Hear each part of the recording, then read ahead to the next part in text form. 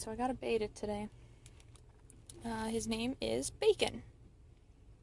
Look at Mr. Bacon. Isn't he cute?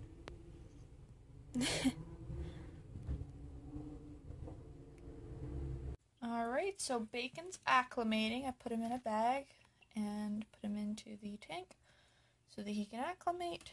And he's going to sit there for about 14 more minutes, and then I'm going to come back and um, put him into the tank, see how he gets along with the other fish. Alright, so I got myself a couple of things while I was out and about too, other than the fish, of course. I got a couple Funko Pops. I got Darth Vader, like the original, like number one Darth Vader from 2013.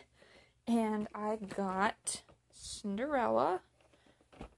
And I got this Breyer.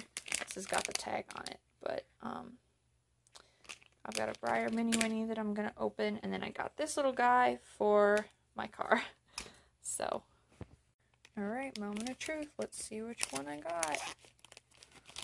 Maybe. Okay.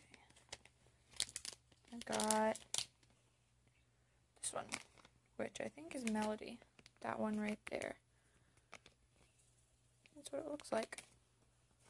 And then I got, of course, this sticker with it and then a little checklist.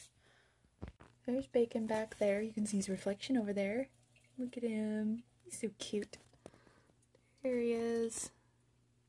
Oh, he's so cute.